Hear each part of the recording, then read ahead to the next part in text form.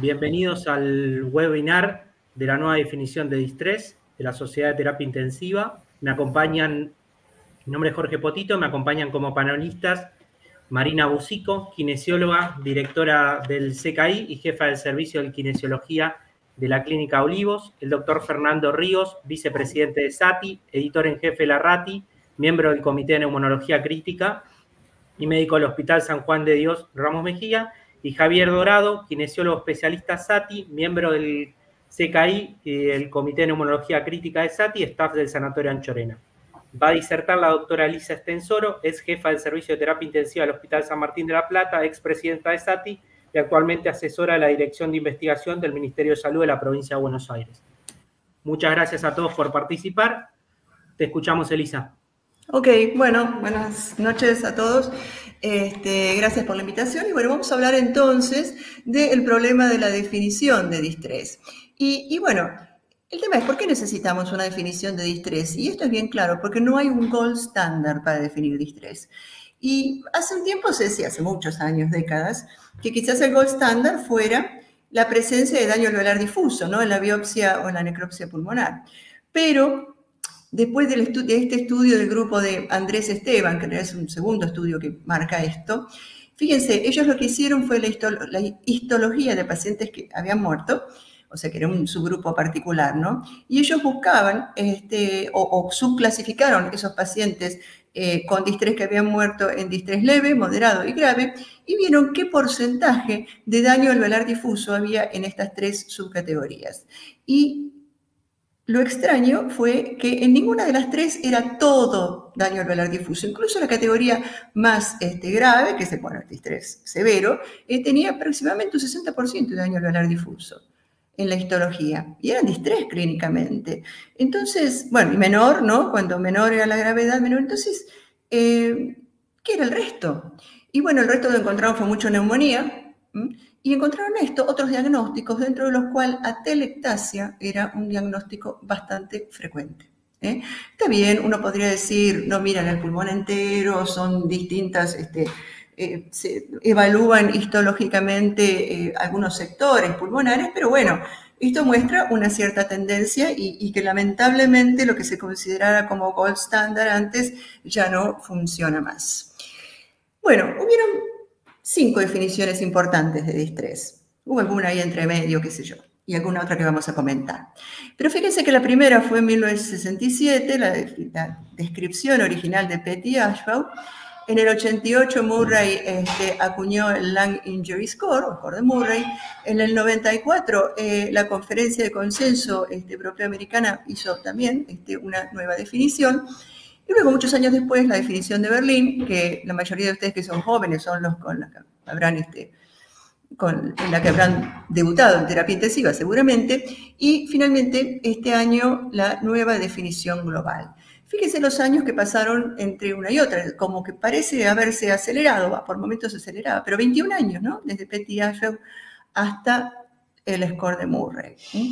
Vamos entonces este, a ver las distintas definiciones. Fíjense, esta es la primera, Petty Ashbaugh.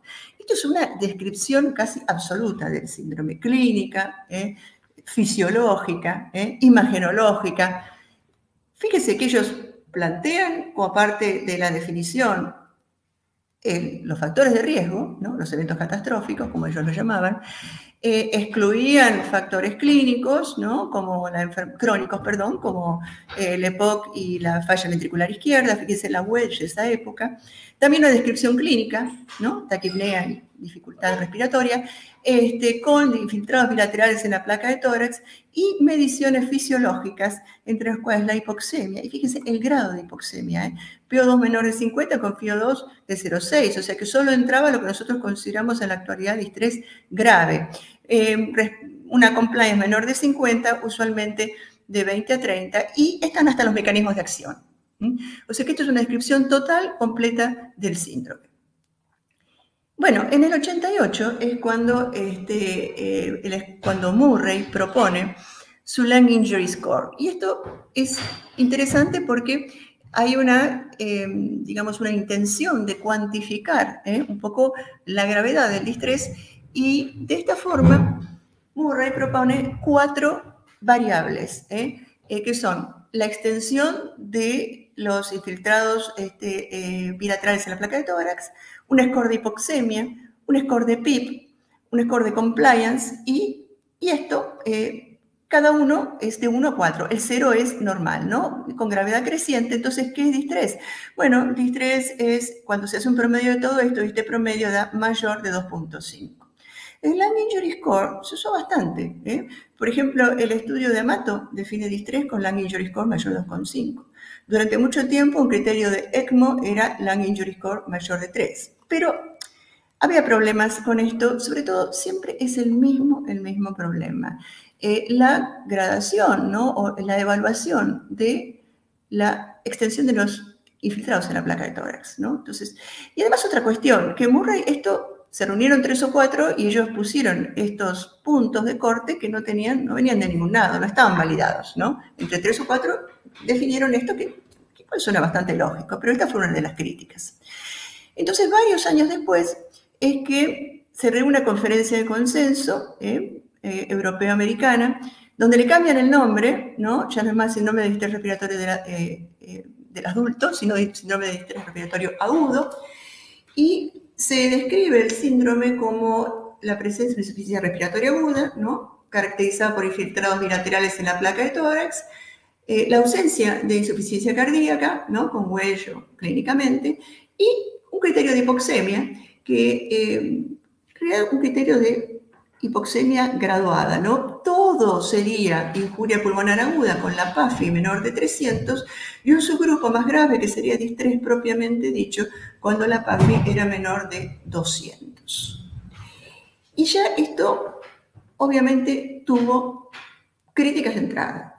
Las de siempre, lo de la placa de tórax, que ahora veremos, y también esta cuestión de usar la PAFI, pero sin ninguna referencia a la PIC que como nosotros sabemos claramente tiene un impacto en la PAFI. Este es un trabajo nuestro, fíjense, de hace 20 años ya, eh, después de que sale esta definición, que es impacto de PIP, ¿no? en la definición de distrés, eh, que publicamos en Intensive Care Medicine. Y fíjense, nosotros cuando llega un paciente con distrés, ni bien antes de, lo ventilábamos y lo medíamos, ¿no? Medimos la PAFI antes de poner PIP, y veíamos como, bueno, estos pacientes, ¿no? Fíjense, tenían 120 de PAFI, ¿no? Y después lo volvimos a medir, ¿no? Acá están los sobrevivientes y los no sobrevivientes. Pero la PAFI iba subiendo, subiendo, ¿no? A lo largo de las primeras 24 horas, y esto era lógico porque era la respuesta, ¿no? A la PIP que nosotros instituíamos. O sea, claramente, como muestra este trabajo y otros dos semejantes que se publicaron en esa época, muestra que, como todos sabemos, clínicamente la PIP tiene un gran impacto en la definición de distrés, hasta el punto que nosotros vimos después de, un día solo 38% seguía siendo distrés, pero los pacientes eran los mismos, no cambiaban. O que estos son, no diría que artefactos, pero bueno, es un poco el impacto de las medidas terapéuticas sobre la definición, lo cual muestra que la definición es bastante inestable. Y también la mortalidad eh, fue similar eh, al resto de los pacientes, eh, estos que tenían menos de 200 de PAFI y los que tenían más. La otra cuestión que también se criticó a la definición de la conferencia de consenso y como decíamos se critica en todas, en todas, en todas las definiciones, es el problema de la evaluación de los infiltrados en la placa de tórax, ¿no? Porque hay una gran variabilidad entre los distintos observadores. Hay varios estudios que salieron en ese momento, pero este es el más conocido, el de Rubenfeld, que midió o puso distintos observadores a evaluar ¿eh? este, las, eh, las, placas de tórax. Y fíjense, cuando hay placas donde todos coinciden, acá hay una concordancia del 100%, obvio. Pero acá la concordancia entre los observadores es del 86%. Y acá la concordancia entre los observadores es del 52%. Entonces la concordancia total, o sea, el acuerdo interobservador era bajo, ¿eh? Capa de 0,55. Lo máximo es 1. O sea que pobre esto, bastante pobre. 18 años después de la conferencia de consenso y de todas estas discusiones sobre la PIP, sobre los infiltrados, es que aparece la definición de Berlín en el 2012. Y bueno, acá ya aparecen distintas cosas, ¿no? Hay una renovación conceptual, diríamos, ¿no? Primero porque por primera vez se pone un timing, ¿no? ¿Dentro de cuánto tiempo a la exposición del factor de riesgo aparece el distrés? Y bueno, dentro de una semana algunos que dicen que es muy poco esto, pero una semana se acepta, o síntomas respiratorios nuevos. en un paciente este, que ya tenía eh, previamente insuficiencia respiratoria que empeora. Placa de tórax, de nuevo, infiltrados bilaterales, ¿eh? no explicados por derrames, por colapso o por nódulos. Un poco más de especificación. Y el origen del edema, insuficiencia respiratoria no explicada por falla cardíaca o sobrecarga de fluidos. Y después una gradación este, en el impacto de la oxigenación entre distrés leve, moderado y grave. Y acá viene una de las novedades. En el distrés leve, que se definía como PAFI entre 300 y 200, con PIB mayor de 5, o sea que aparece la PIB, ¿no? PIB mayor de 5 centímetros de agua. Y acá, en esta categoría de distrés leve, también pueden haber o pueden considerarse pacientes no intubados que están con eh, ventilación no invasiva o con CPAP, solo en este grupo. ¿eh? Pero aparece la PIB. El distrés moderado sería eh, que está este, el paciente que presenta una PAFI entre 200 y 100 con PIB mayor o igual de 5 y el grave PAFI menor o igual de 100 con PIB mayor de 5. O sea que acá hubo un cambio, ¿no? Hubo un cambio con respecto a todo lo previo. Y también en esta definición se plantea que existe un modelo conceptual de estrés respiratorio, o tiene que existir, o, que tiene digamos, que persiste a lo largo de todas las definiciones. Y ese modelo conceptual que yo intenté, bueno, con estas imágenes, ¿no? Pero después me quedé pensando, falta la imagen de una pantalla de un respirador con, este, de alguien con alta PIP. Pero bueno, ¿qué dice el modelo conceptual? Que digamos, ese es ese hilo conductor que tiene que estar en todas las definiciones. Que el distrés es una lesión pulmonar inflamatoria, aguda, difusa, secundario factor de riesgo, pulmonar o extrapulmonar, que produce un edema pulmonar por aumento de la permeabilidad, que esto depende de la gravedad también, que las características clínicas del distrés son hipoxemia infiltrados bilaterales en la placa de tórax, ¿no? Y que lo que subyace a esa hipoxemia es la presencia de shunt y también algo de espacio muerto alveolar y también la disminución de la compliance pulmonar. La telectasia contribuye también a la pérdida del tejido pulmonar aireado, no solo hay distrés, sino que también sí mismo, ¿no? Eh, sino que también hay atelectasia.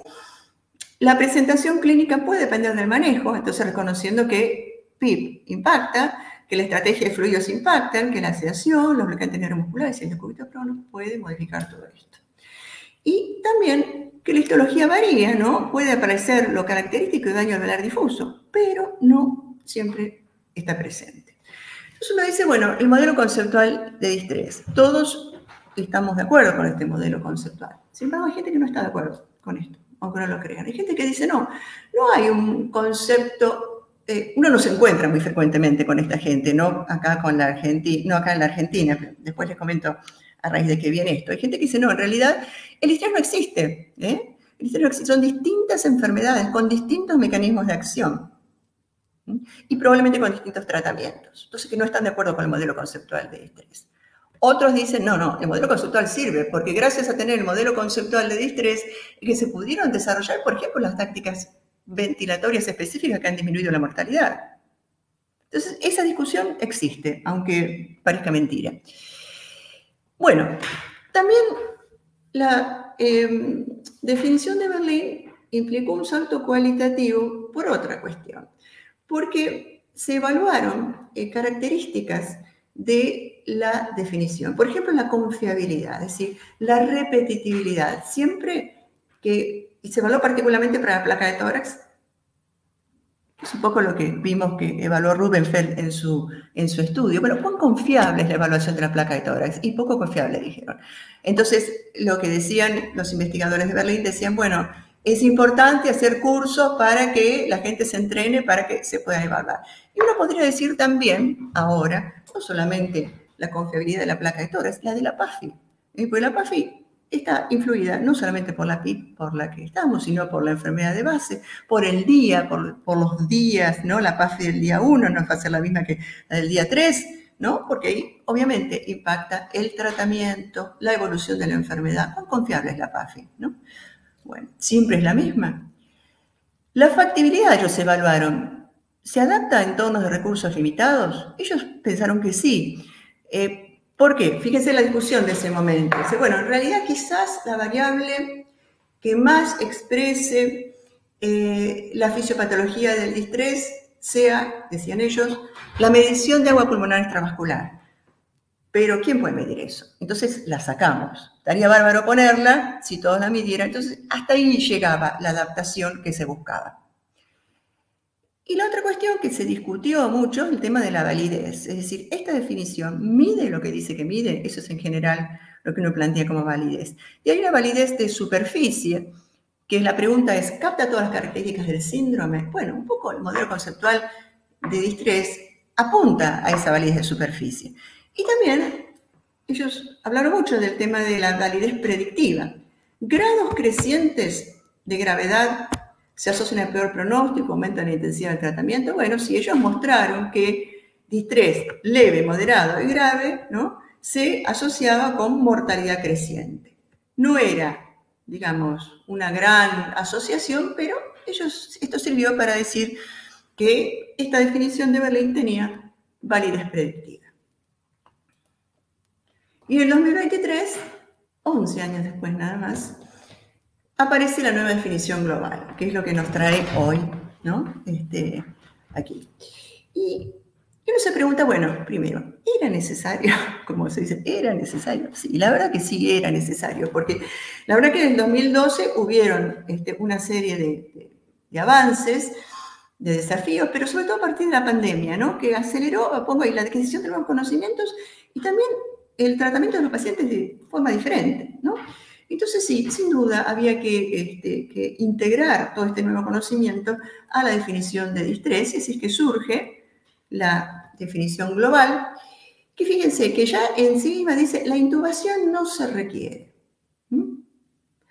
Y todo esto porque ya en la anterior algo se decía para el estrés leve, pero no, intubación no se requiere, y esto porque por el uso diseminado ¿no? de, este, de CAFU, bueno, de oxigenación este, por alto flujo, ¿no? por calor nasal, eh, que digamos, este, mayor de 30 litros por minuto fue, eh, digamos, el punto que se marcó, eh, o la utilización, como se decía antes, de BNI o CPAP mayor de 5 centímetros de agua, de presión de fin de expiración. ¿Por qué 30? Bueno, por, por 30 se eh, piensa que era equivalente a una PIP de 5. Entonces, ese fue el primer este, punto. El segundo, la definición de hipoxemia. PAFI menor de 300, o menor igual a 300, como era la definición anterior, pero se introduce este, para la evaluación de la hipoxemia la relación entre eh, la oximetría de pulso y la FIO2, ¿no? la saturación por oximetría de pulso y la fracción inspirada de oxígeno, la SAFI, ¿no? que obviamente el valor es diferente, ¿no? porque hay una ecuación que, digamos, que, relaciona ¿no? la, eh, la SAFI con la PAFI, que es la ecuación de Rice, que es una ecuación lineal. Esto está un poco criticado porque hay otras ecuaciones que también lo relacionan que son no lineales y probablemente no sea lineal esta relación, pero a los efectos prácticos eh, es lo que se utiliza. Y teniendo siempre presente que esto sí, solo sí, la saturación es menor o igual de 97%, porque por arriba de saturaciones de 97%, entonces no es confiable el equivalente o el, el APO2 correspondiente por la forma de la curva de disociación de oximoglobina. Entonces, con esa entramos entonces con una nueva forma de evaluar la hipoxemia, que no es que no se hiciera, pero de forma definitiva. Opacidades bilaterales, confirmadas por placa de tórax, tomografía, computada, y aquí aparece la ecografía. ¿eh? Pero fíjense, no cualquier ecografía, ecografía con un operador bien entrenado. ¿eh? Y esto, lo final, que es lo que más, por momentos, confusión trajo, sobre todo cuando salió, que al principio salió solo esto, ¿no? Solo este cuadrito. En, este, en sitios o en regiones que hay una gran limitación de recursos, no se requiere ni el criterio de PIP de 5 mayor o igual de 5, ni el flujo de oxígeno, ni ningún este, tipo de, dispositivo respiratorio abierto bastante abierta la definición. Después vamos a ver el motivo de esto, ¿no? Entonces esto generó, sobre todo esto, ¿no? un poco de incertidumbre, porque todo es distrés, podría ser. Pero fíjense, esto es en sitios con recursos limitados, no es para nosotros. ¿Mm? Entonces, profundizando un poquito los criterios de oxigenación, entonces, se establecen tres grandes categorías con una definición. Distrés no intubado, el distrés intubado y el distrés en las zonas de recursos variables, ¿no? que se define de otra forma. Entonces, el distrés no intubado, ¿no? aquí tenemos cuál es, PAFI menor de 300 o SAFI menor de 315, con la saturación, no, por simetría de pulso menor o igual a 97, por supuesto. Esto es en pacientes con CAFO mayor de 30 litros minuto de flujo o con BNI mayor de, con PIB mayor de 5. Pues están intubados, que es leve, moderado y grave. Lo que tenemos que hacer acá es cambiar o tener presente los 300, 200 y 100 de todos estos por 315, 235 y 148, ¿no? Para hacer el cálculo de nuestro paciente.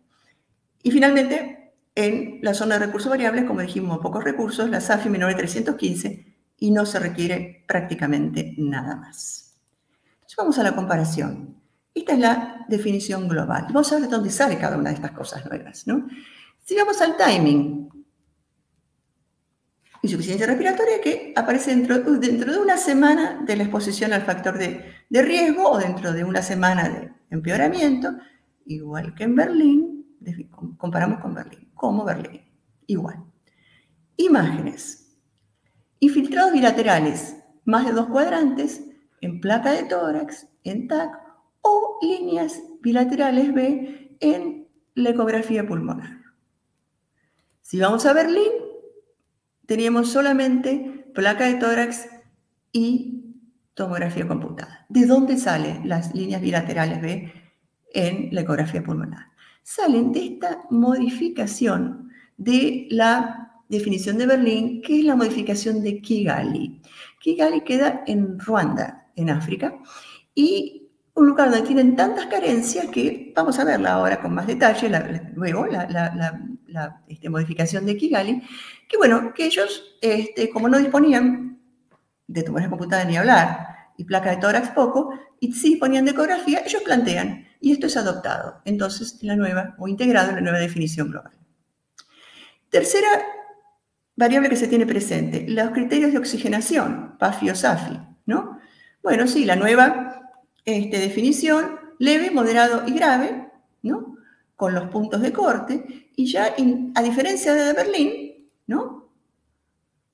Incorpora los puntos de SAFI. ¿Y por qué incorpora la SAFI? Si bien algo se venía hablando, la definición de Kigali define distrés directamente como insuficiencia respiratoria aguda con menos de 315 de SAFI, porque no tenían gases en sangre.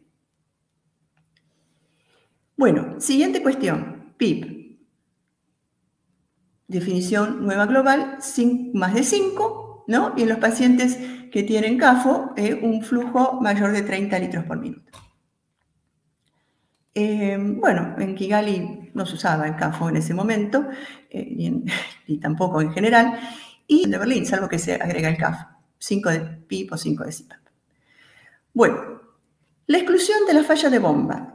Y esto es nuevo, ¿no? O de otras causas. No es solo falla de bomba. Esto pone de nuevo la, definición de Berlín, la definición este de, mm, global, porque aparte de lo que decía Berlín de falla de bomba o exclusión ¿no? de falla de bomba o de este, sobrecarga de fluidos, aquí agregamos exclusión de colapso pulmonar, de derrames pleurales y de embolismo pulmonar.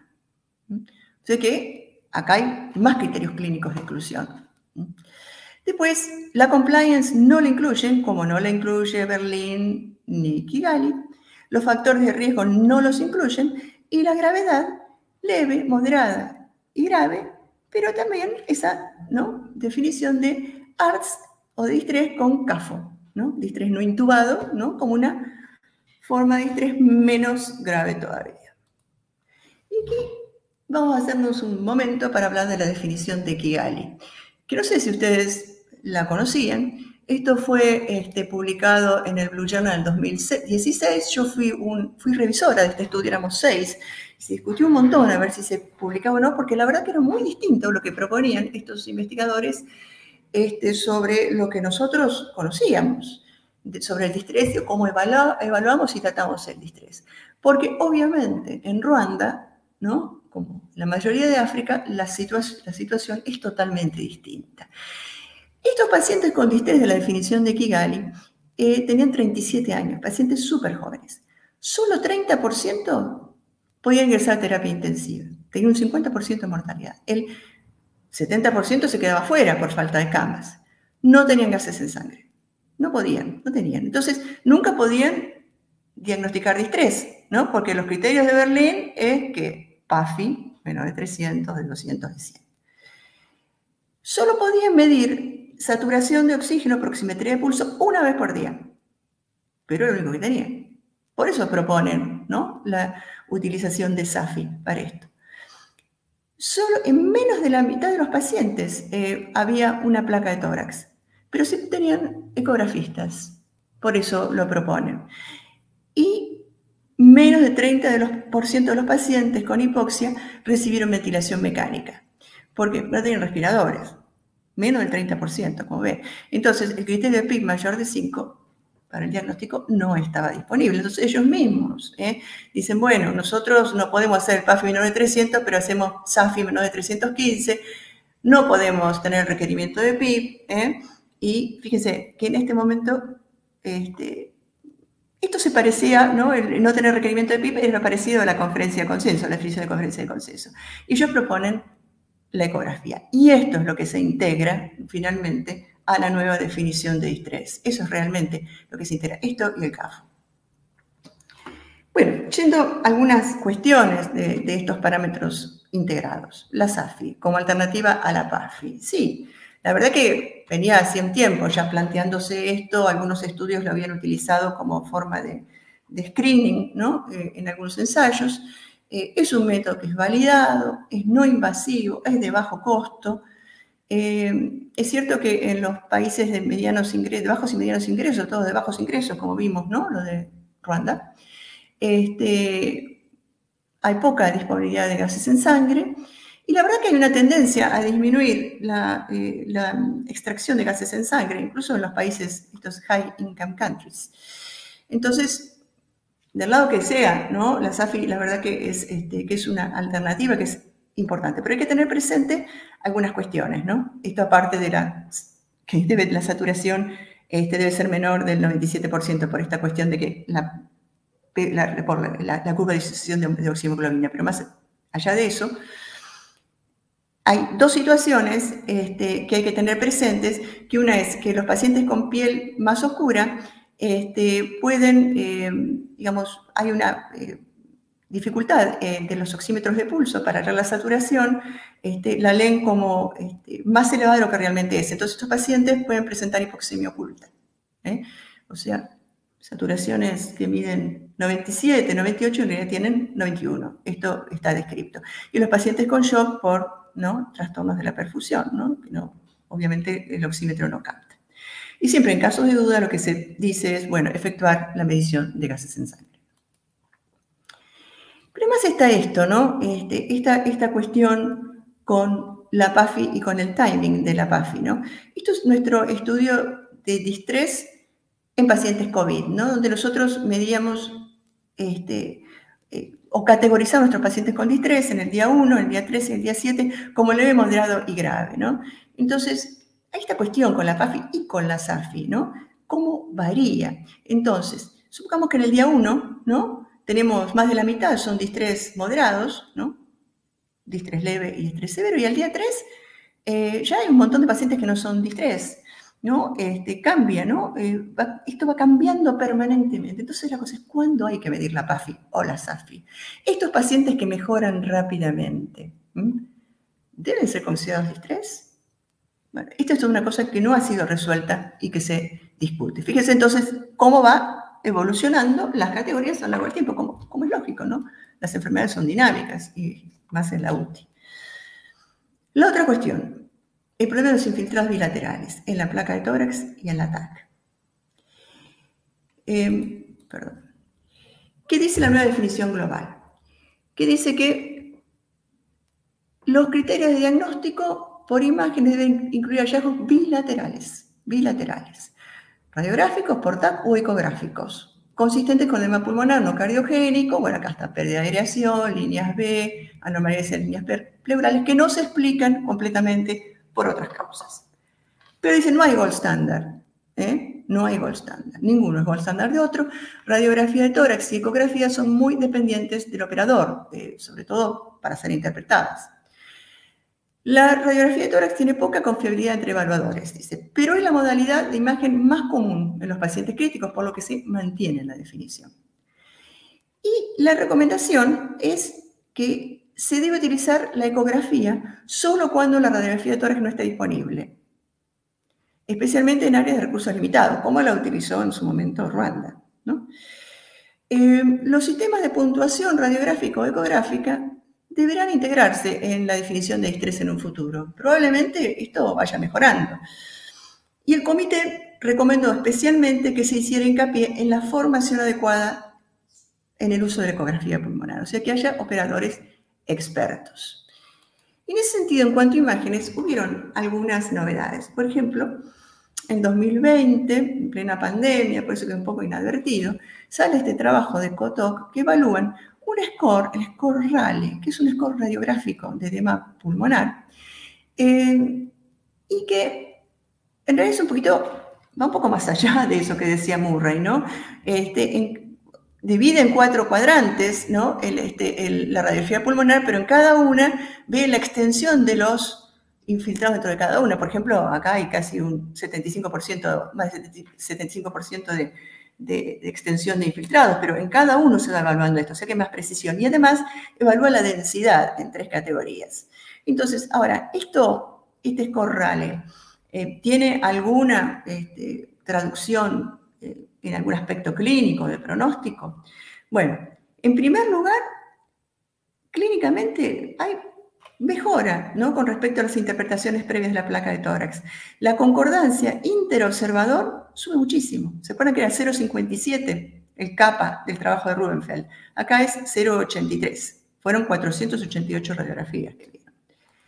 Y también con respecto al pronóstico vio lo siguiente. ¿no? Vieron que los pacientes ¿eh? que eh, mejoraban bajaban les corrales, obviamente mejoraba la placa, bueno, pero hay una correlación. Estos los que no mejoraban ¿eh? y que iban a ventilación mecánica prolongada, los verdes, persistían con escorrale alto. Bueno, pero digamos, por lo menos es un instrumento ¿no? que mejora la concordancia. Y con respecto a la ecografía, este año sale este estudio de Smith en el Blue Journal del LUS Score, es Lung Ultrasound Score, ART Score, en 12 regiones, que esto está testeado eh, un panel de, por un panel de expertos, eh, que además testean contra TAC. Es un estudio observacional, prospectivo, multicéntrico, o sea que está bien que hace una corte de derivación para hacer el score y una de validación, y hace un modelo, ¿no? DIS3 sí, DIS3 no, perdón, DIS3 sí, seguro, DIS3 no, DIS3 incierto, y la verdad que Después lo aplica en una corte de validación y ve que tiene una muy buena ROC, ¿no? En cuanto a la definición del distrés en la corte. O sea que esto es un score que se ha validado de la forma correcta. Entonces, la conclusión del estudio es que puede diagnosticar con precisión el distrés también después de la validación externa y que hay un rendimiento acá comparable en la práctica actual con lectores experimentados de las placas de tórax. ¿no?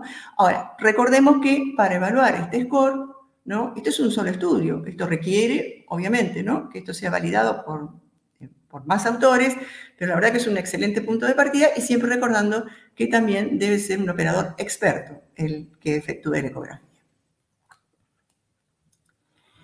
Bueno, la otra categoría, el distrés no intubado, el uso de CAFO.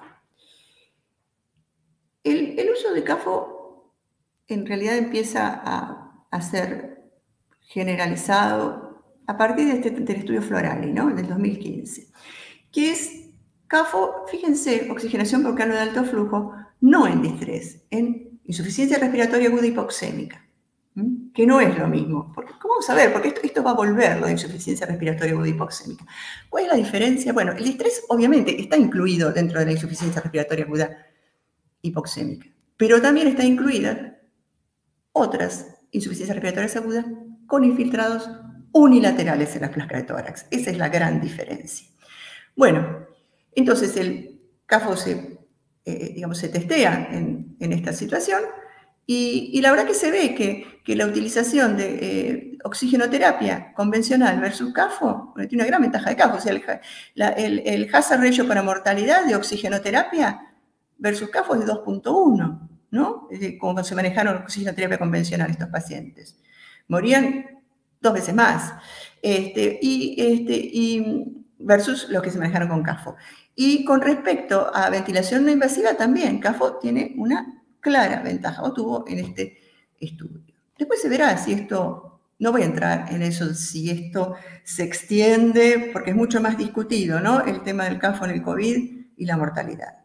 Esto no se ha podido demostrar de esta forma tan fehaciente. Pero bueno, esto fue el estudio, digamos, que generó toda la gran oleada de CAFO que hubo. Y, el problema que había con el CAFO que, que, bueno, con la definición de Berlín no estaba contemplado el CAFO porque, bueno, este trabajo fue posterior. Entonces, eh, ¿cómo se hacía? Este, la definición de Berlín en cualquiera de sus, este, cualquiera de, sus instancias de estrés leve requería eh, una PIP de más de 5 centímetros de agua y de todos los tipos de distrés. Bueno, aquí entonces lo que se hace es por lo menos que los pacientes tengan, para, al ser cuando se los evalúa, tengan un flujo mayor de 30 litros por minuto, que sería el equivalente, como dijimos hoy, a 5 del PIB. Obviamente, enseguida saltan crítico esto, pero si utilizamos de alto flujo, ¿no se, ¿no se seleccionaría una población de menor gravedad? Sí, probablemente sí, probablemente sí. Pero bueno, es la realidad. Estos pacientes antes quedaban afuera de la definición. Y y esto es interesante, este estudio de, Ranieri, que un poco trata de, responder estas cuestiones. Bueno, pero ¿son distrés, no son distrés, son distrés leve? ¿Qué, pasa?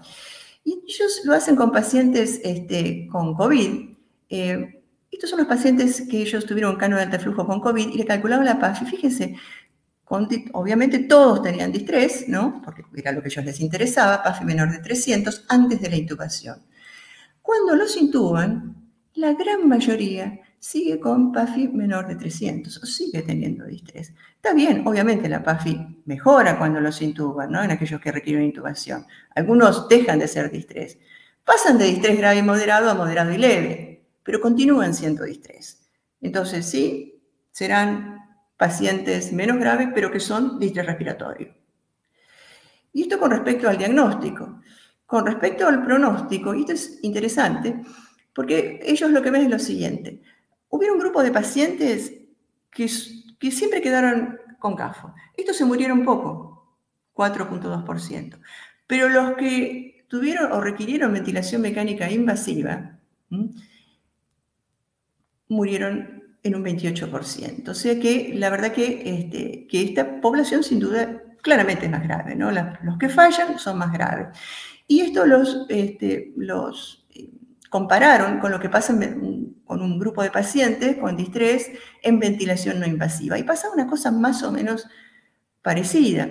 De los pacientes con distrés con ventilación no invasiva, los que quedaban con ventilación no invasiva, que eran muy pocos, este, morían poco, en tanto los que era necesario intubarlos y ventilarlos tuvieron una mortalidad mucho más alta, muchísimo más alta incluso que esta.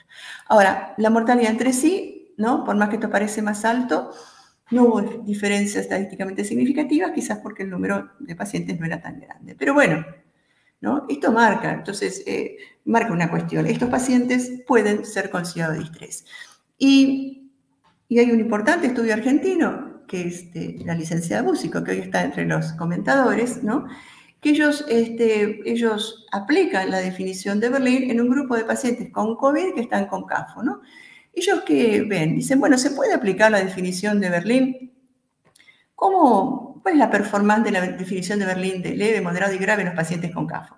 Que van a tener este, variables, este, PAFIs variables. Bueno, este, ellos encuentran un área de ROC para mortalidad que es esta, ¿no? porque esta es con algunas modificaciones, que es baja, ¿no? Pero la verdad que en la definición de Berlín, la, la curva ROC para mortalidad del distrés leve, moderado y grave tampoco era muy bueno. ¿Mm? Y lo que es muy interesante también es que tienen, encuentran cosas muy semejantes a lo del estudio de Ranieri. De estos pacientes con CAFO, un poco más de un tercio requirió intubación y ventilación mecánica invasiva. La gran mayoría siguió siendo distrés. O sea que está bien que estos pacientes con CAFO se consideren distrés. Y la mortalidad de estos que requirieron ventilación este, mecánica invasiva fue altísima, más alta incluso que la de Ranieri, versus 1.8 de los que permanecieron con cano de alto flujo. O sea que el CAFO está validado. Está validado. Bueno, entonces identifica más tempranamente pacientes con formas leves de distrés y con mejor pronóstico, sobre todo si no requieren eh, ventilación mecánica invasiva posterior. Hay temas que no se incluyeron y que son temas cruciales en esta definición. Una es el enriquecimiento pronóstico, ¿no? Entonces, uno puede elegir criterios más estrictos para la inclusión. Entonces dijimos, bueno, este, si nosotros queremos testear una terapéutica, ¿no? Que, por ejemplo, tenga posibilidad de efectos adversos, bueno, lo voy a hacer en aquellos pacientes en los cuales esté más justificado, en aquellos que son más graves, donde el riesgo costo-beneficio, ¿no? Este, de, ganancia en cuanto a disminución de la mortalidad versus presencia de efectos adversos está a favor, ¿no? De la terapéutica. Entonces, por ejemplo, se puede elegir pacientes solamente situados con distrés moderado grave, o que cumplan con la definición, pero con un valor de PIB prefijado, por ejemplo, 10 centímetros de agua. esto es lo que hace, por ejemplo, Villar para la definición de distrés este, cuando usa corticoides. Vieron que tienen todos PIP de 10 ¿eh? en el estudio control aleatorizado de Villar. El otro tema que no se incluyó, la hipoxemia con infiltrados unilaterales. El problema con, esto, uno piensa, esto no es distrés. No, nosotros tenemos metido ¿no? el modelo conceptual de distrés de infiltrados bilaterales. Pero la realidad que tiene el mismo pronóstico los pacientes con infiltrados unilaterales que bilaterales lo que se llama insuficiencia aguda este, respiratoria hipoxémica. Insuficiencia respiratoria aguda hipoxémica, perdón.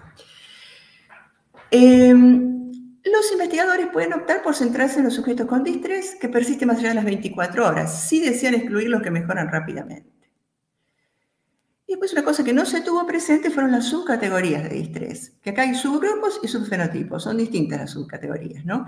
No se integraron, pero hay, una, hay un yo diría, por un lado hay una fuerte presión para tener esto presente, ¿no? Pero hay conocimiento que va este, apareciendo, que todavía no es muy categórico, pero ustedes vieron que, por ejemplo, subgrupos de distrés son, los subgrupos son cuando están definidos por una sola variable que los perdón, que los define, ¿no? Por ejemplo, leve, distrés, leve, moderado y grave son subgrupos, porque es una sola cosa que se tiene presente, que es la PAFI, para definirlos. Los subfenotipos es un patrón de diferentes variables, ¿eh? Que, este, para definir distintas clases dentro de una patología. Entonces, eh, por ejemplo, los subfenotipos que pueden ser clínicos, como el distrés hiperinflamatorio e hipoinflamatorio, que pueden agregar conjuntos de biomarcadores también. Y, digamos, el sentido de esto es ver si estos subfenotipos, además, este, eh, digamos, de alguna manera pueden identificarse para recibir distintos tipos de tratamientos. Y hay, han habido este, intentos, entonces, de eh, algunos tratamientos, por ejemplo, ¿no? de, de instituir algunos tratamientos que teóricamente tendrían que funcionar mejor, en los fenotipos hiperinflamatorios, como el tocilizumab, como las estatinas, que no ha sido terriblemente categórico todavía, porque todavía no están tan bien definidos los subfenotipos. Em, bueno, las imágenes, ¿no? Las focales versus difuso, distrés focal versus difuso, el estudio live, como que ustedes conocerán, es prepandemia. Y después también, ¿no? La definición de sus categorías fisiológicas, ¿no? Como la PAFI, dijimos, de modelo grave, o los reclutables versus los no reclutables, ¿eh? o las pacientes con driving pressure menor o mayor de 15 o de 14, o con elastancia menor o mayor de 2.5 eh, centímetros de agua por mililitro, o este, otro parámetro fisiológico como el ventilation ratio. Estas son cosas que se están discutiendo en la actualidad.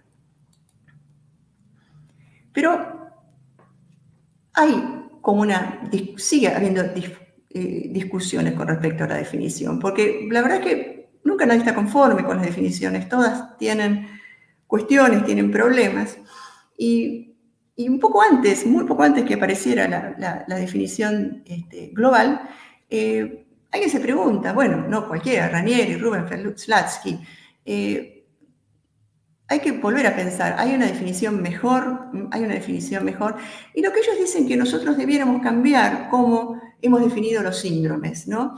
Y que utilizar, nosotros, ¿cómo fuimos definiendo los síndromes? Bueno, bueno un consenso, de, expertos, que al principio eran dos, Petty y Ashwell, ¿no?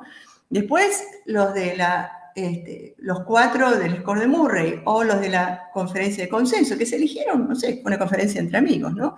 Entonces dice, bueno, no, la realidad es que hay que buscar un sistema científico, ¿no? Para generar este, estas definiciones. Y la verdad que lo que se habla es de constructos, ¿no? Eh, eh, ¿En qué situaciones uno debiera buscar definiciones este, especiales? En aquellas que no hay un gold standard, ¿no? que son muchos síndromes en medicina. El distrés es uno de ellos. No tenemos un gold standard para definir distrés. Bueno, definámoslo, a través de un constructos. En general, los constructos, fíjense, esta es la definición, ¿no? Es un constructo definido es aquel sobre que diferentes personas, fíjense, diferentes personas piensan de manera similar y por lo tanto es útil para facilitar la comprensión.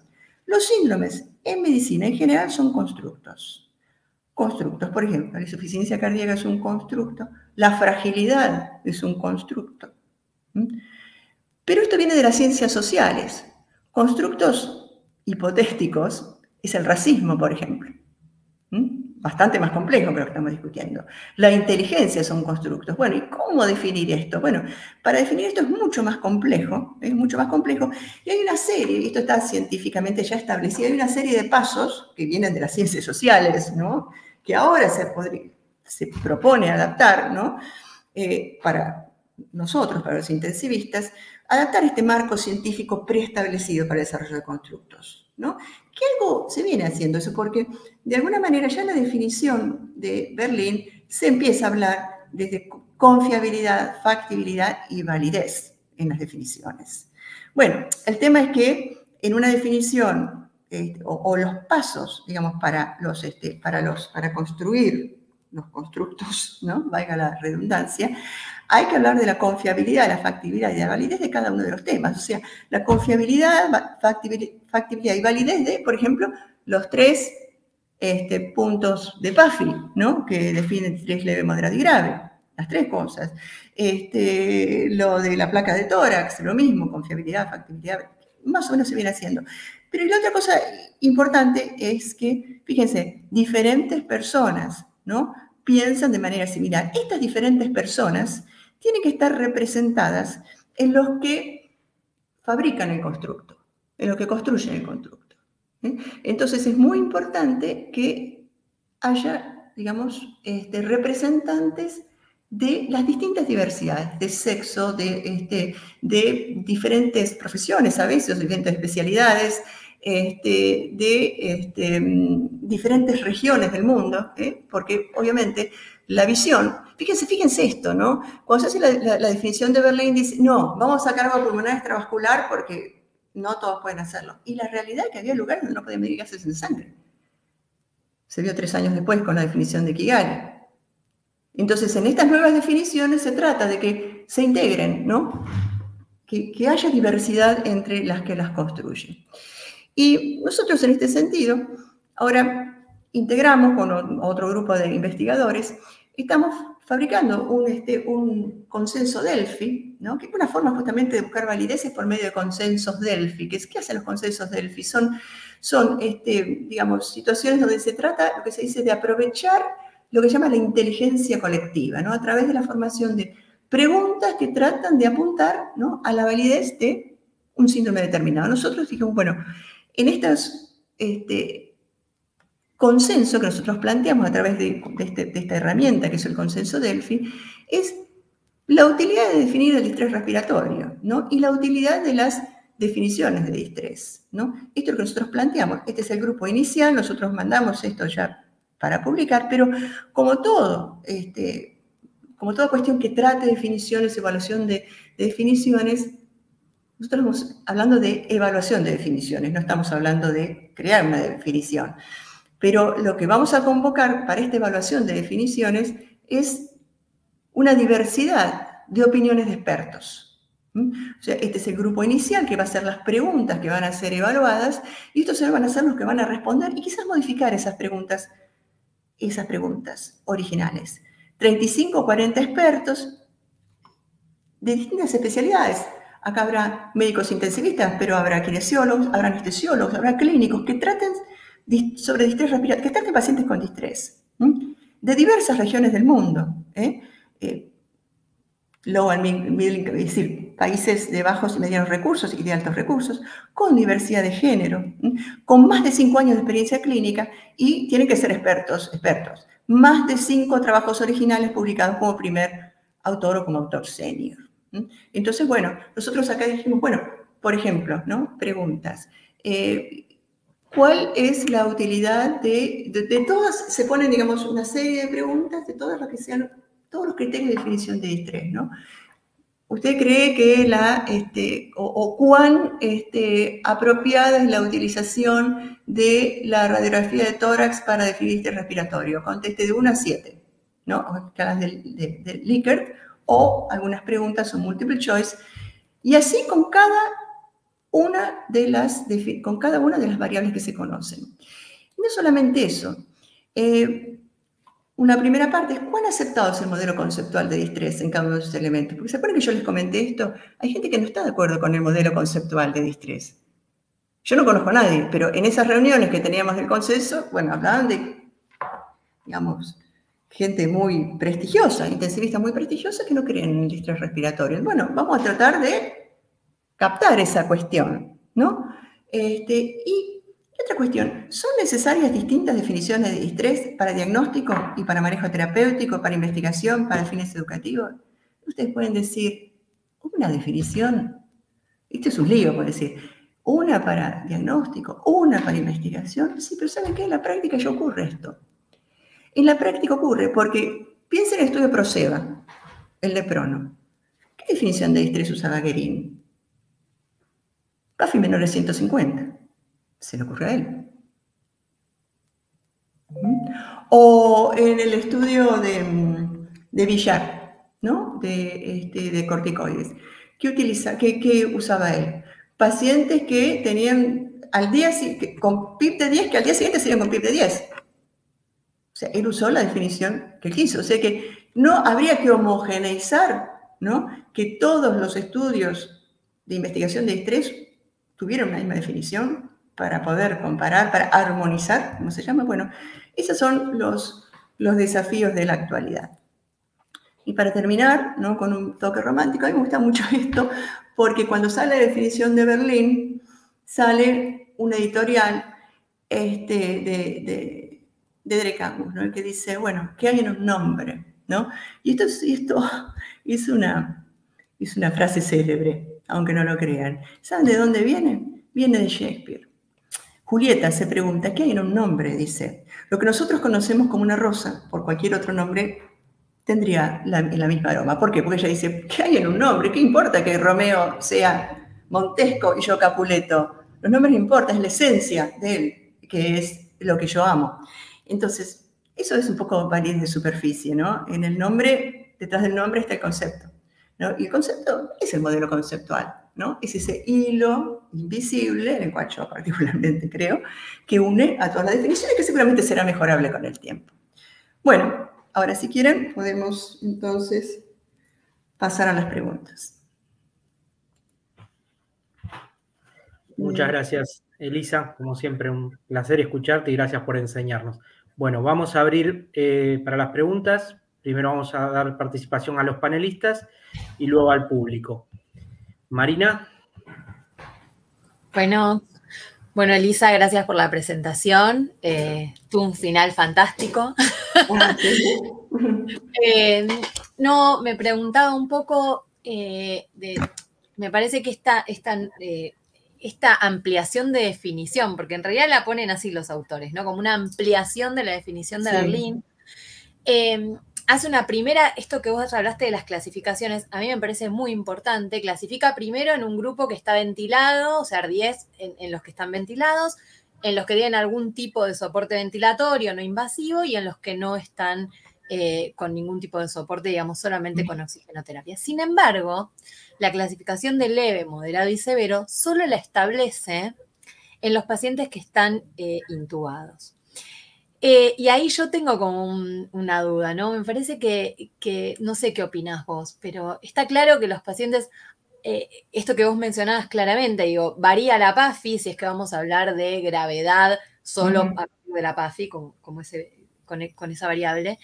Digo, no debería de clasificarse igual, sabiendo que, digo, en los que, por lo menos los que tienen soporte ventilatorio no invasivo, sabiendo que incluso esa variabilidad puede darse en los ventilados invasivamente, no deberíamos respetar la misma para ordenarnos, porque si no es como que, bueno, el que tiene alto flujo o BNI tiene distrés, más no sé eh, qué gravedad, no, sé qué opinas. Bueno, pero es un poco por eso yo mostré el trabajo de ustedes que me parece importante, porque ¿qué muestra ese trabajo? Muestra que antes de que los intuben, ¿no? ¿Qué muestra? Que dentro de los pacientes con CAFO, que eran como 400 y pico, había algunos que tenían menos de 100 de PAFI, otros que tenían 200 y otros que tenían, qué sé yo, 280. Y probablemente esos eran distintos, ¿no? Cuando este, algunos, muy probablemente los que tenían 280 nunca fueron intubados, los que tenían menos de 100 de entrada, eso ya se veía mal. Entonces sí, obviamente que sí, que eso se vuelve este, que eso se vuelve a repetir. Y yo creo que es intuitivo, un poco porque decía, si vos te salís con CAFO, con PAFI menos de 100, y bueno, ¿no? uno sabe, porque generalmente esa PAFI menos de 100 se acompaña de otras cosas, ¿no? Cuatro cuadrantes, en fin, sabemos que eso muy probablemente falle. Así que sí, seguramente sí. Lo que pasa es este, que todavía no había, cuando se, cuando se, digamos, se discute esa definición, que fue en el 2022, ese trabajo no había salido, el trabajo de ustedes. Ese trabajo, este, el, de ustedes y el de Ranieri. El de Ranieri. trabajo da justamente sustento a que el distrés leve, moderado y grave pueda aplicarse. Esas categorías, subgrupos en realidad, puedan aplicarse en los pacientes con CAFO. Bien, gracias. Javi. Eh, bueno, Elisa, primero, eh, gracias por la presentación, realmente excelente como siempre. Em, y quizá no solo para Elisa, también me gustaría saber la opinión del resto de los panelistas y si les interesara eh, comentar su, apreciación.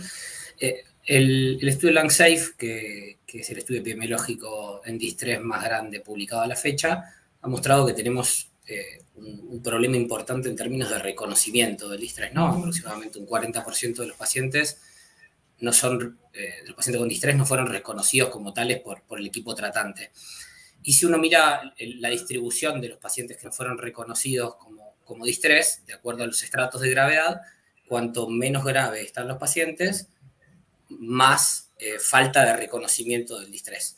Y en ese escenario pregunto si esta nueva definición o esta ampliación de la nueva definición, al hecho de agregar un nuevo subgrupo de pacientes que a priori podría llegar a ser menos grave aún que lo que estábamos considerando, no, puede, no podría ser de alguna manera contraproducente en términos de reconocimiento clínico del distrés. Después podemos hablar si el reconocerlo o no reconocerlo cambia alguna conducta, porque estrictamente LangSafe muestra que los reconocidos y los no reconocidos fueron tratados más o menos igual, dejando de lado la PIB o el prono. Pero digo, en términos epidemiológicos, si un problema que teníamos hasta ahora era la falta de reconocimiento, agregar un subgrupo de pacientes aún menos grave, ¿no podría ser contraproducente en este aspecto?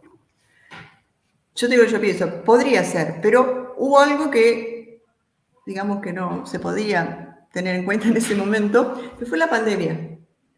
Entonces a mí me parece que, este, que mucha gente empezó, incluso no intensivistas, sino clínicos y, y otras especialidades, empezaron a reconocer el interés de otra forma.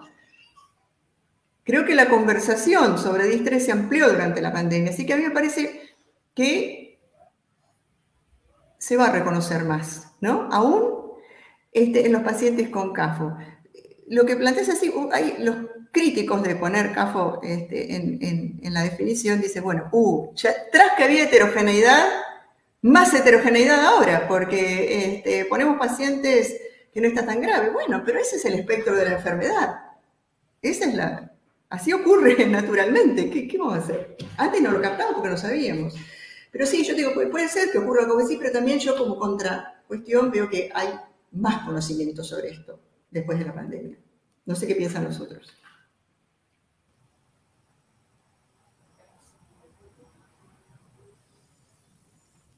Hola, eh, no, yo estoy 100% de acuerdo con lo que decís, Elisa, pero yo, yo tenía otro comentario. Por mis canas, eh, yo participé en, un par de trabajos de comparar anatomía patológica con diagnóstico clínico. vos abordaste una revisión histórica impecable, me encantó, eh, pero no pusiste nada de anatomía patológica. Digo, esto creo que como que ha pasado un poco de moda, eh, creo que tiene que ver con esto de que el distrés es un síndrome, no una enfermedad, y las enfermedades se asocian a anatomías patológicas específicas. Pero lo, cierto es que esto del daño alveolar difuso que, en los libros aparece descrito como la anatomía patológica del distrés, cuando revisas las necropsias no aparece siempre.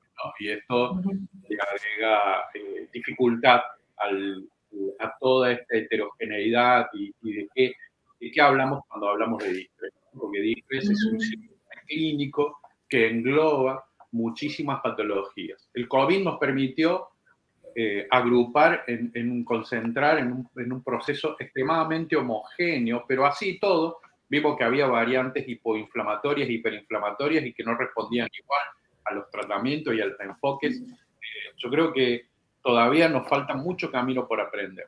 Yo celebro lo de Kigali, a mí me parece que es como el curso ese tipo de neumonía, a mí me parece que ir hacia formas de diagnóstico, de estratificación de riesgos eh, simples, que no requieran tecnología y que ubiquen, porque probablemente quienes construyen, como, como hablaba Elisa, el constructo, quienes construyen las definiciones, eh, en sus realidades jamás imaginan lo que es trabajar eh, sin gases o sin tomografía o sin eh, determinados elementos tecnológicos, ¿no? Y a mí me parece que, los pacientes están por todo el mundo y tenemos que tener homogeneidad y tenemos que tener la, capacidad de construir definiciones y clasificaciones que sean totalmente iguales. El, tercer punto que, que yo meto, eh, y celebré mucho cuando lo dijiste, lo de los subgrupos.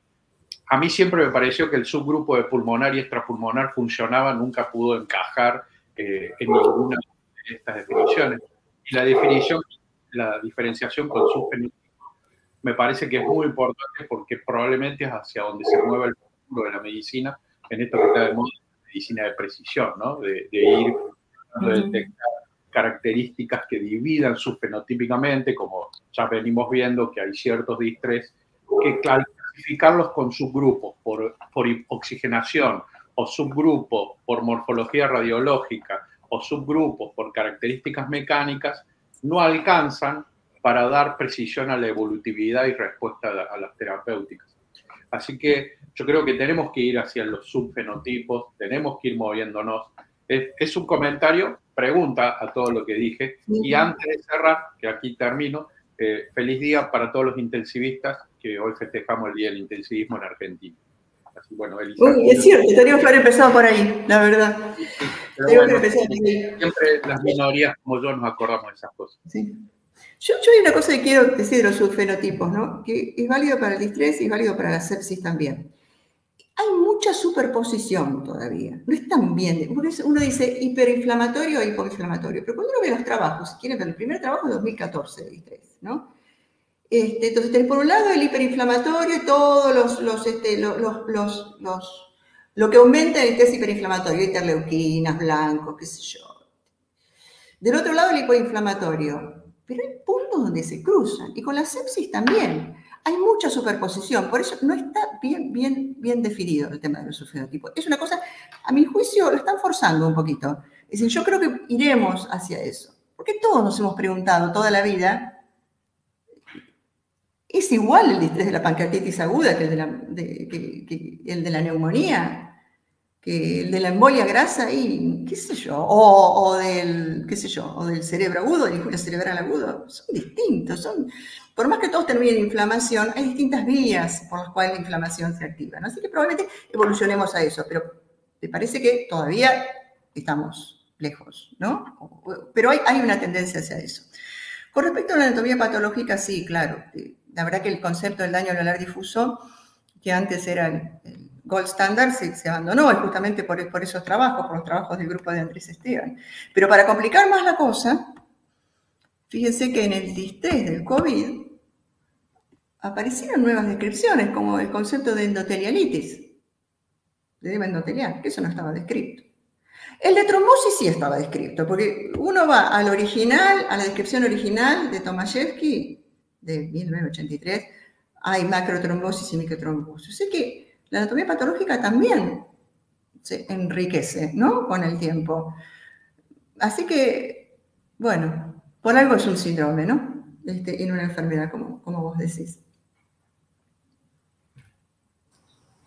Quizás mencionar una, cosa, Elisa, con, con, respecto a lo que mencionás de este trabajo del 2014, el que hacía el análisis latente de los, de los subfenotipos, que sí tenía impacto en la mortalidad, pero sin embargo, como vos decís, el, fenotipo inflamatorio tenía un dosaje de interleuquinas, TNF-alfa, todo que la definición actual habla de estas regiones eh, geoeconómicas, sea, factores no biológicos, y no incluye los fenotipos.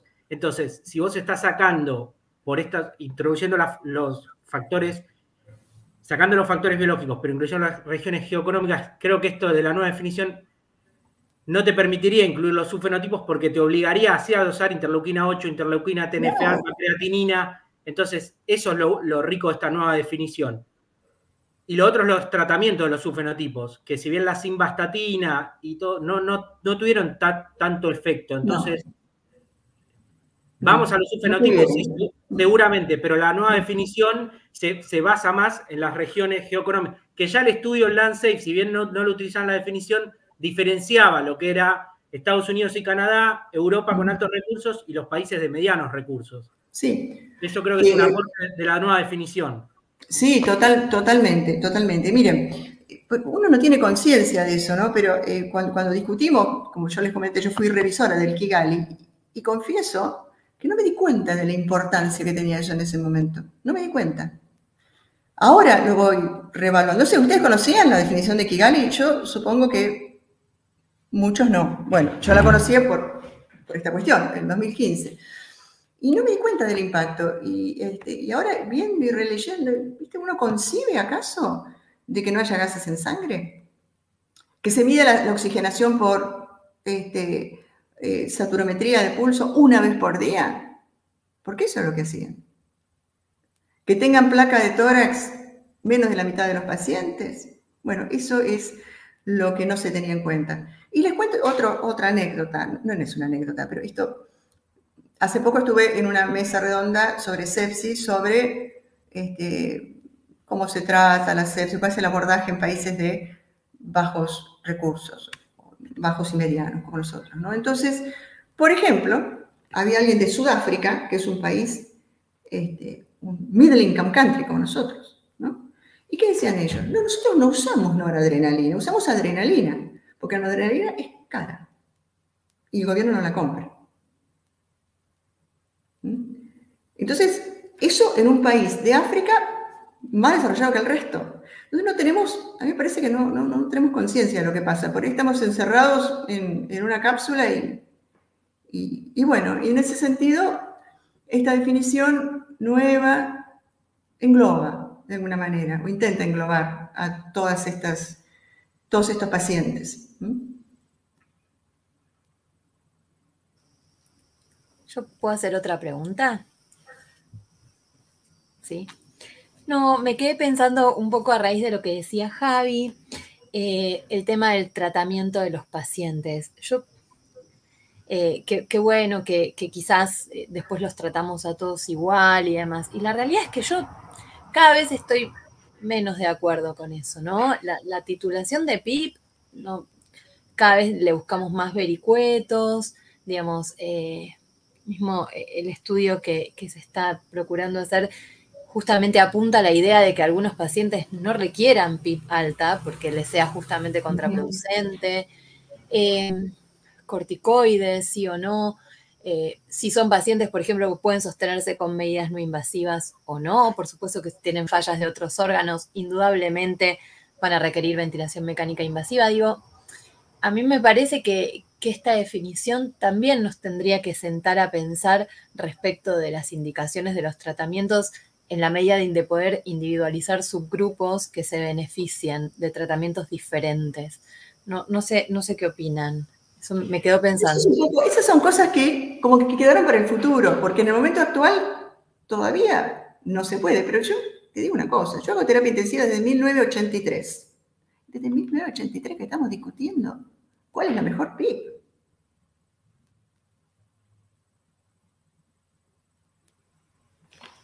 ¿Qué te puedo decir? Ese abordaje terapéutico es el que menos me interesaba, me refería más a los otros. bueno, ¿qué? ¿Qué sé yo? Digo, quizás haya que empezar a pensar en, otros abordajes terapéuticos distintos para este grupo de pacientes, en un poco la, idea. A ver, yo, yo creo que con, el tiempo que tenemos, que como dice Elisa, hace muchísimos años que estamos discutiendo esto y tenemos la misma pregunta y no la terminamos de resolver nunca sobre cuál es la PIB ideal, cuál es la PIB óptima. Y le vamos cambiando el, adjetivo o, o, la palabra acompañante a PIB o, a cualquier otra medida, ¿no? El, BT, modo espontáneo, modo controlado, cuándo paso de controlado a espontáneo, eh, si uso eh, algún acompañante como puede ser un antiinflamatorio. Yo, para mí, eh, igual que la oncología se está moviendo hacia la medicina de precisión, en algún momento nuestros conocimientos debe permitirnos ir seleccionando a quién y cómo y en qué intensidad y en qué momento, porque también recuerden que, y creo que aquí no lo dijimos, en el distrés juega mucho la temporalidad, ¿no? O sea, lo que quizás en una fase temprana de un subfenotipo, un subgrupo es útil, en fase tardía no, incluso hasta puede ser nocivo, ¿no? Como puede ser el ECMO, ¿no? Eh, por dar un solo ejemplo. Por otro lado, eh, los corticoides en COVID por primera vez demostraron cuando antes había pilas de trabajos en distintas dosis, en distintas formas, pero cuando concentraste los pacientes hacia el COVID, se pudo demostrar un efecto sobre la mortalidad. Que yo creo que eso no, que justamente toda la evidencia anterior te muestra que no es el mismo saco para todos y las herramientas que hoy tenemos, porque de afuera para nosotros los pacientes se ven iguales. Es un paciente que tiene un deterioro de la mecánica respiratoria, deterioro de la oxigenación, infiltrados en la placa, con una patología aguda, y que eh, probablemente pueda estar acompañado de fallo de órganos diversos y con un fenómeno gatillo, ¿no? asociado a una patología gatillo. Eh, pero como dijo Elisa, cuando, yo me acuerdo cuando, revisaba las necropsias, los distrés, eh, y vos veías la, la, histología ahí del pulmón de una pancreatitis, no era igual que el, que el paciente que había tenido un shock séptico y que el paciente que tenía un HIV con una neumocitis. Claramente no es igual. Eh, por ende, pero nosotros de afuera lo veíamos igual, ¿no? Cuando lo mirábamos de afuera, veía idéntico. Entonces, a mí me parece que eh, vamos a ir como la oncología, vuelvo a decirlo, hacia la medicina de precisión, pero todavía no tenemos esa herramienta, así que, en el medio vamos a seguir empantanados en esto, vamos a seguir en estas discusiones, vamos a seguir equivocándonos, vamos a seguir descubriendo que hicimos algo creyendo que hacíamos bien como, como nos pasó con la curva de PIP Compliance, que le hacíamos a todo y con eso titulábamos PIP, y después vimos que en realidad tan útil eso no es, que suena muy lindo, pero que por ahí en la práctica no cambia la historia de los pacientes, hasta algunos los pueden empeorar. Eh, toda, me parece que estamos eh, en una etapa de descubrimiento. Si esto fuera la carrera espacial, para mí estamos hablando de, colonizar Marte cuando todavía estamos acá, ¿no? Estamos con los pies en la tierra.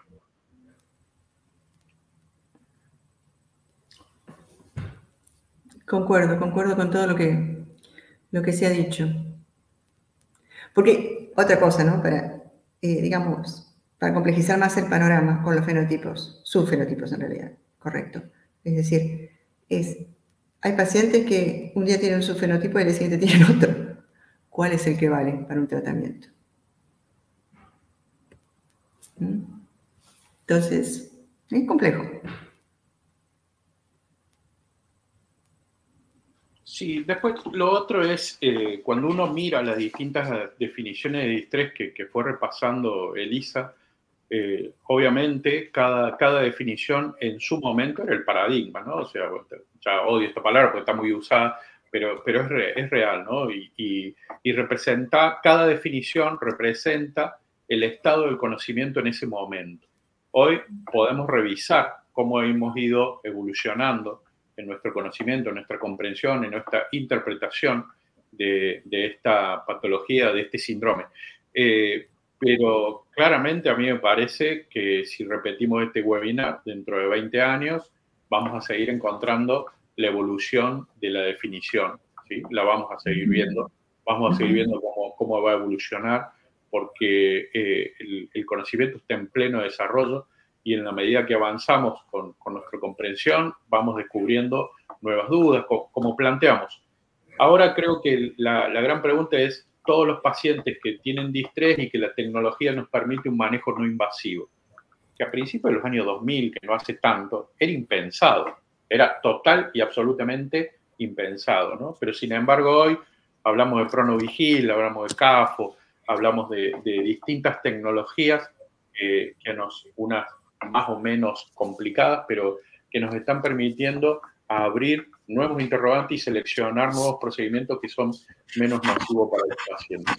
Eh, creo que la evolución de la definición va a seguir cambiando y que tenemos que tener la cabeza abierta y los ojos bien abiertos y un sentido crítico muy fuerte, ¿no? Porque también nos vamos a equivocar, ¿no? Como, como ha pasado.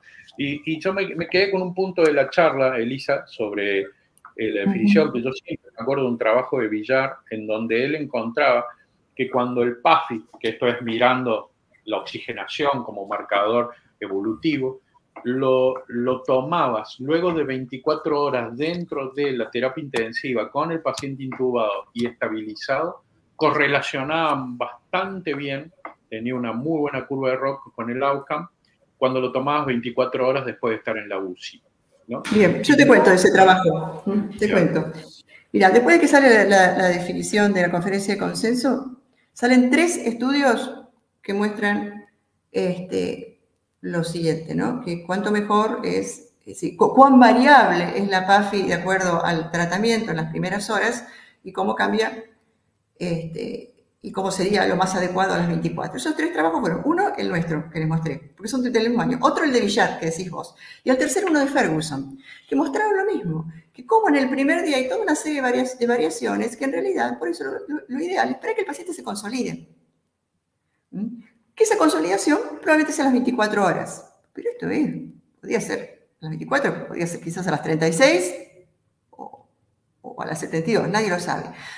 Porque también hay otra cuestión aquí, que es el paciente que mejora las 24 horas, entonces ese debería sacarse, porque alguien que, no sé, con 5 tiene distrés, lo ventilas, a las 24 horas está con 5 de PIB, lo estubas y anda. Hay pacientes así.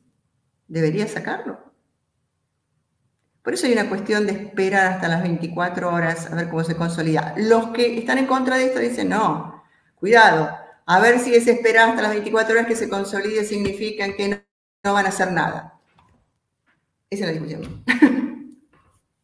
Esa es la discusión. Aquí hay una pregunta, una, ah, mira, hay una pregunta interesante que veo, es la que estoy viendo yo.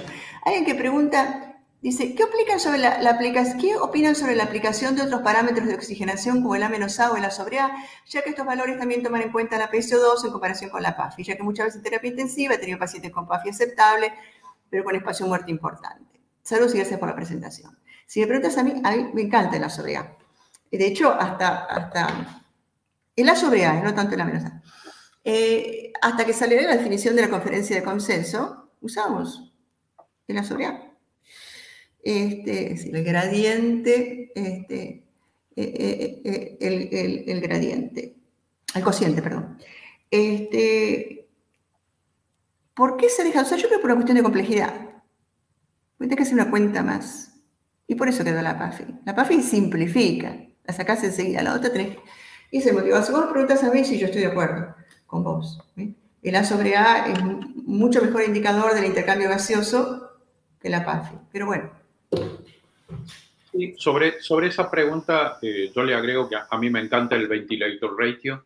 Creo que eh, sí, poner el CO2 y el CO2 esperado teórico ideal sobre el, medido, eh, le agrega un poco y que hay bastante bibliografía que habla de, qué bien que, puede ajustar hacia el outcome del paciente o hacia la evolutividad del paciente, pero, pero como dijo Elisa, lo que uno busca es la simplificación. Yo creo que esto tiene lugar en unidades donde la complejidad y el manejo diario justifican esto, pero yo me quedaba pensando y no lo dije, que el concepto de Kigali y el SAFI para mí cobran muchísima trascendencia, por ejemplo, para las áreas de urgencias, la, atención de traslado de pacientes graves y la clasificación homogénea de estos, o los, pacientes en salas de baja complejidad, como puede ser una internación de medicina interna.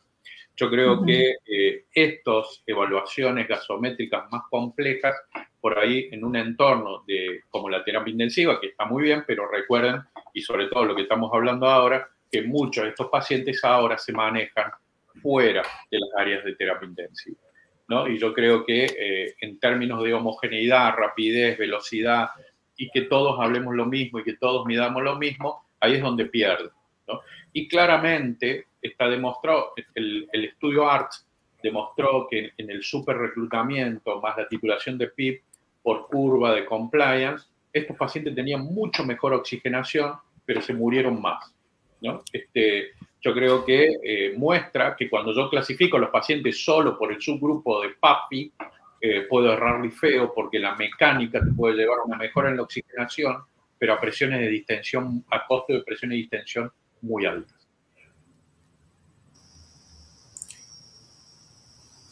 Un aporte chiquito. Em, la, nueva definición eh, dice que es como un documento vivo, ¿no? Y, tiene una página este, de internet donde uno puede hacer sugerencias. Yo entré a, ver si alguien había hecho alguna sugerencia para, bueno, por ahí poner alguna chiquita. Bueno, no, no, no hay todavía sugerencias, pero una en, virtud de que, bueno, la PAFI porque es más simple y porque es más conocida y porque, por otra parte, ha sido el punto de corte en términos de clasificación de gravedad que se ha usado. Eh, quizás una buena sugerencia es que sea con la misma, con una, con FIO2 estable, ¿no? Por ejemplo, con una FIO2 1. Eso permitiría también homogeneizar mucho más la población, además de la PIP en los ventilados, ¿no? Me parece que esos dos puntos em, ayudarían. Yo no, escribí nada en la página, ¿eh? igual, pero, eh, una, cosa más en términos de homogeneizar la población. Eh, dos cosas, probablemente Marina por humildad no lo ha dicho, pero pues, su trabajo sobre eh, el uso de métodos de oxigenación no invasiva en distrés, eh, McMaster la clasificó como un gran avance en el tema de la clasificación de distrés, así que les invito a que lo lean, lo revisen, la verdad que, que es un trabajo muy interesante. Y, hasta sospecho que probablemente a Marina le ha pasado que escribió eso sin entender bien o, no descubrir bien el impacto que puede llegar a tener ese paper en, todos los trabajos que le siguen. Eh, porque es todo un desafío la definición de distrés en, los no intubados. Eh, eso por un lado, y por otro lado veo acá alguien que pregunta por el SAFI, si lo usa en la sala cuando tienen gases. Y yo acá destaco un poco eh, algo que dijo Elisa, que los saturómetros están validados y tienen curvas que ya están incorporadas prácticamente en la década del 50, 60, eh, realizadas en blancos de edad media y que eh, hay comportamientos diferentes en asiáticos, pero sobre todo en personas de raza oscura. Y que este comportamiento no solo, digo, obviamente lleva a que el saturómetro, el grado de error ante situaciones de hipoperfusión leve a moderada es mucho más marcado, ¿no? Eh, y, esto lo marca en, llama eh, un protocolo de clasificación de los COVID de acuerdo a el grado de saturación que tenía al inicio, llegó a que las personas de color murieran más porque no eran admitidos, porque no cumplían los criterios de saturación, y en realidad se debía a dispersión y error del método, porque cuando había gasometría esos pacientes estaban mucho peor que, los otros. Pero como el criterio de admisión a área cerrada era la saturación, estos pacientes quedaron afuera.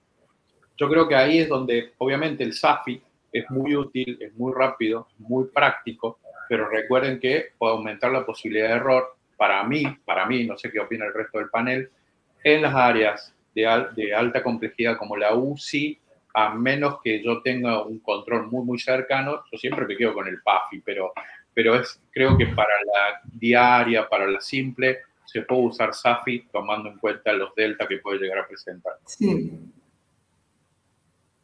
sí totalmente. Es decir, gases en sangre eh, es el gold standard. Este, después el otro puede ser para un seguimiento rápido o para detectar cambios rápidos.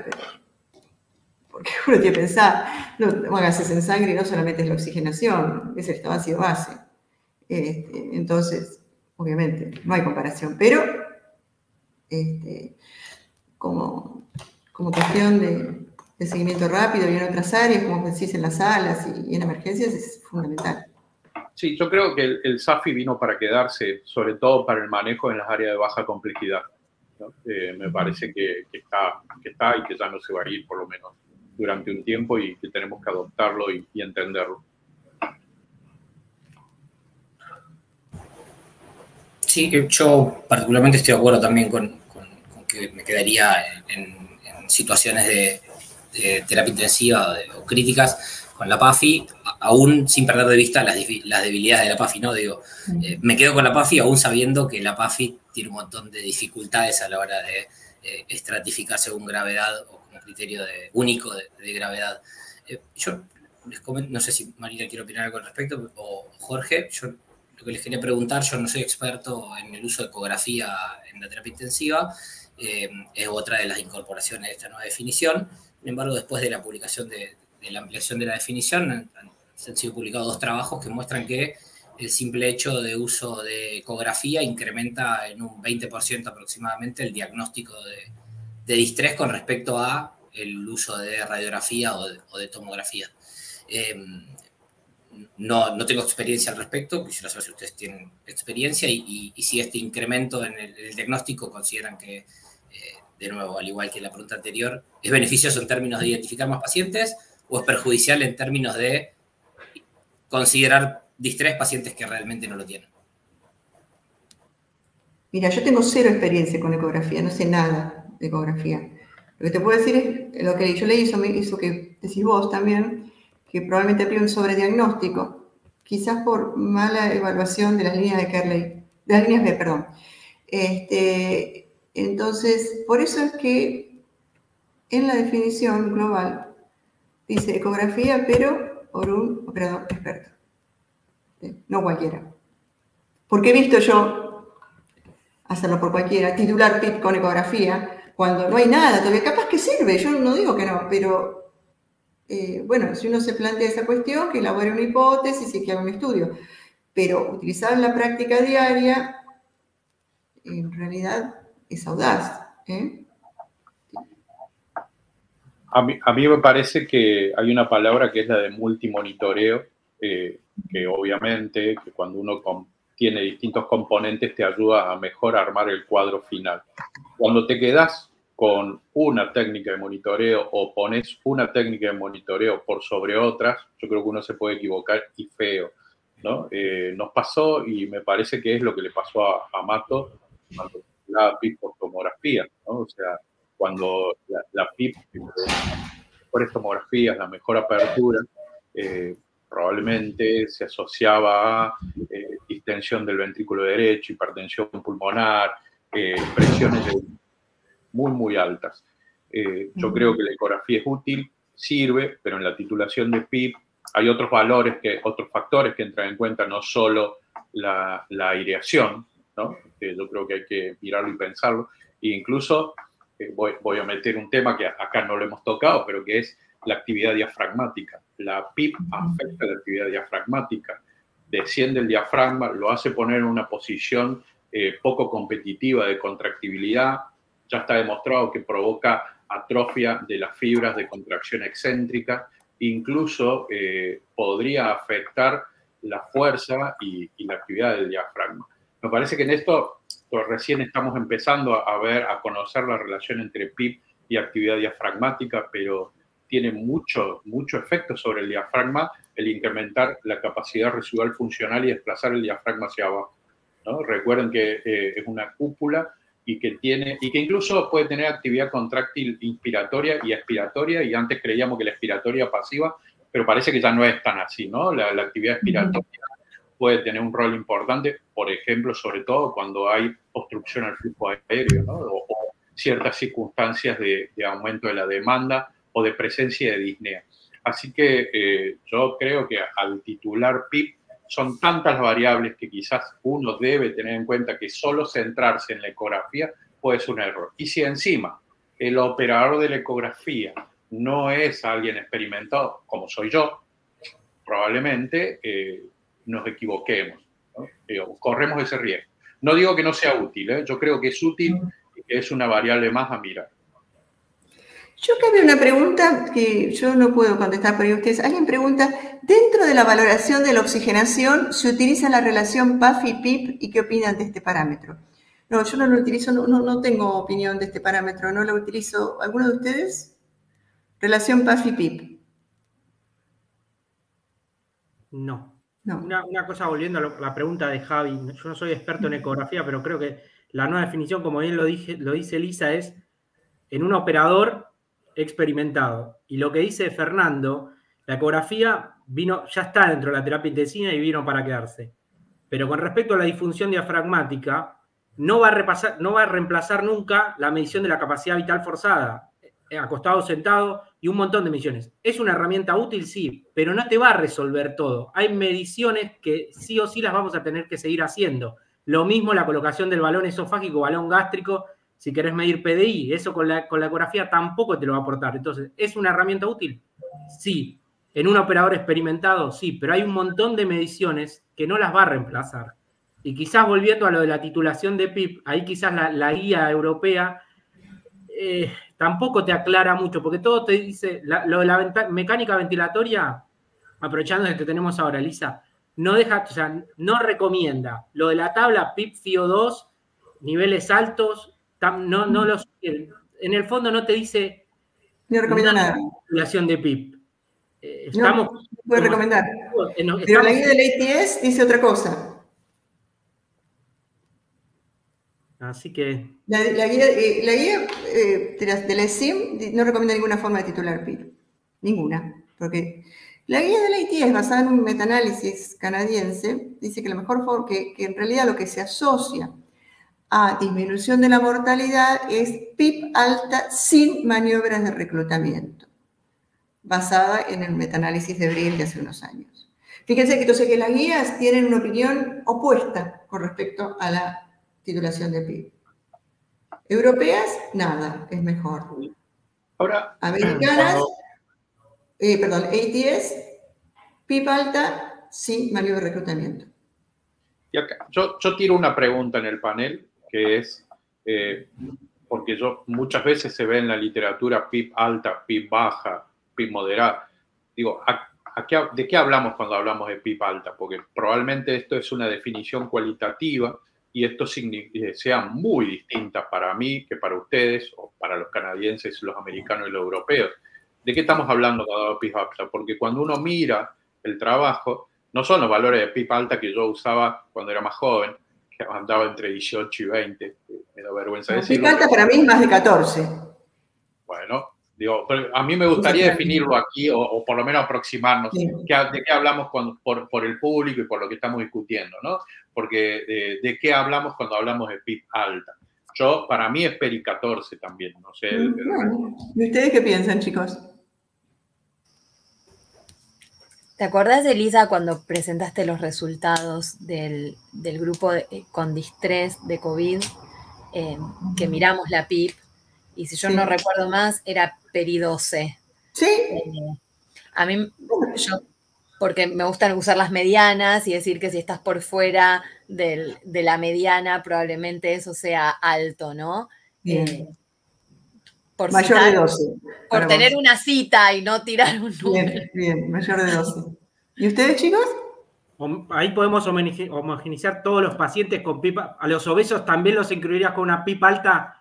No, no, no, no, otra cosa. Para vos, ¿qué es pipa alta? Porque lo que dice ese metaanálisis en el cual se basa la guía de la ITS Dice PIP alta sin maniobra de reclutamiento. Pero es cierto, no define PIP, te manda los estudios. Te manda los estudios, que son todos los estudios de PIP alta versus baja que ya conocemos. Entonces, para nosotros, para vos, ¿qué es PIP alta? 14 a 16. Mayor de 14. Sí, yo, estoy... Y vos, Javier, sos el que queda. Sí, yo estoy voy a dar la... 14 para ponerle un rango. Voy a dar la, respuesta para la pregunta de Fernando, que sé que lo preguntó para, para esto. Para mí, un paciente en nuestra terapia intensiva tenga más de 12, probablemente lo consideremos PIP alta. Pero, pero creo que, una definición de esta característica se aleja un poco de lo que, lo que describía Fernando antes de como la tendencia hacia la medicina de precisión. Hay pacientes a los que probablemente ponerle 10 de PIP sea PIP alta. Eh, y, creo que PIP alta o baja depende de, la estrategia de titulación de PIP que uno haya elegido y probablemente esto, haya pacientes a los que 10 sea alta. Y quizás retomando la pregunta que leyó antes Elisa, de que, todos respondimos que no lo usamos, pero me parece que está de la mano de esto que estamos discutiendo ahora, del índice eh, PIP-FIO o FIO-PIP, Em, que tiene el preconcepto de considerar que el paciente, no, perdón, no era FIO, era PAFI, PIP, ¿no? ¿no? Sí, PAFI, PIP. PAFI, PIP, bien. Tiene, me parece que tiene el, preconcepto de entender que el paciente que tiene PAFI más baja o PIP más alta es el que está más grave eh, que el paciente que tiene eh, PAFI baja con eh, PIP baja y creo que a todos nos ha pasado en esta última etapa, sobre todo con los pacientes con distrés por COVID, que hay pacientes que están muy graves a los que si uno intenta subirle la PIP, no solo que no les empeora la oxigenación, sino que se la, no solo que no les mejora, sino que se las empeora drásticamente. Entonces, creo que el preconcepto de si tiene PAFI baja con PIP alta es un paciente que está más grave, creo que se aleja de la individualización de la titulación de la PIP y eso puede hallarse. Por supuesto, pero lo que pasa es que lo, lo que estábamos marcando era otra cosa, que fíjense cómo dos guías de dos sociedades prestigiosísimas, ¿no? las más prestigiosas dentro de nuestra especialidad, con respecto a esto, dicen cosas opuestas. Más allá de que hay que titularla en cada paciente y todo, ¿no? E, e, eso es lo que estamos. De acuerdo. Entonces, e, eso es lo llamativo. Eso es lo llamativo. Hay un estamos, comentario. Estamos discutiendo la definición, mira si no vamos a discutir las estrategias terapéuticas. O sea, está bien, hay diversidad. De Gustavo Chaparro, dice, creo que la ecografía muestra agua pulmonar extravascular, pero es difícil en el seguimiento para cuantificar y evaluar mejoría. Y sí. Sí, sí, sí seguro. Seguro. Él, es un experto en ecografía.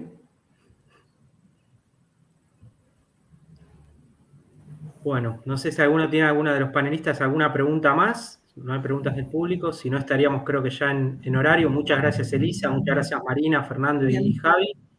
Y muchas gracias a todos los participantes y feliz día a todos los, los intensivistas. Bueno, feliz día a todos. Gracias. Adiós, adiós. Gracias, Elisa.